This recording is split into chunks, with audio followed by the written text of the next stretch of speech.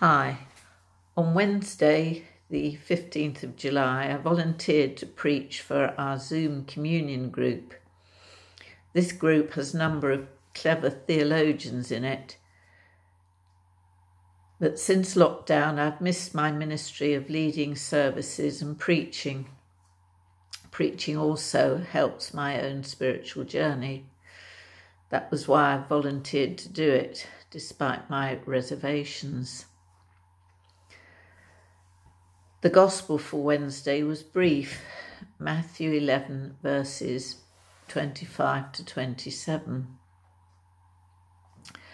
Then Jesus said, I thank you, Father of Lord of heaven and earth. I praise you because you have hidden these things from the people who are wise and clever but you have shown them to those who are like little children. Yes, Father, that is what you really wanted. My Father has given me all things. No one knows the Son, only the Father knows the Son. And no one knows the Father, only the Son knows the Father. And the only people who will know about the Father are those whom the Son chooses to tell.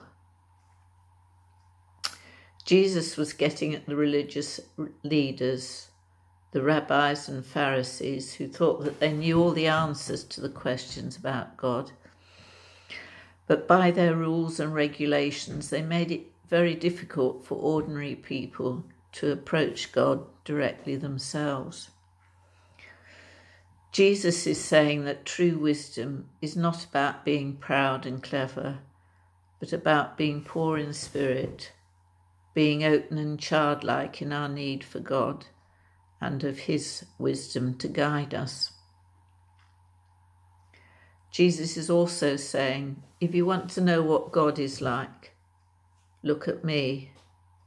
For no one knows the Father, only the Son knows the Father. It is in Jesus that we understand God's true wisdom. At this time of lockdown, I've had to let go of many things horse riding, my career, my working, my, my working relationships, and my identity as a psychiatrist, and also my previous role in the church at Snodland. But I have been thinking that sometimes, in order to receive God's grace, and to understand His wisdom, we have to let go of some things. We need to let go of our cleverness, let go of our past status and achievements, and to let go of our resentments and unforgiveness towards others. June Terry last week spoke about the Corinthian church Paul writes to this church and says, Not many of you were wise by human standards, not many were powerful, not many were of noble birth, but God chose what is foolish in this world to shame the strong.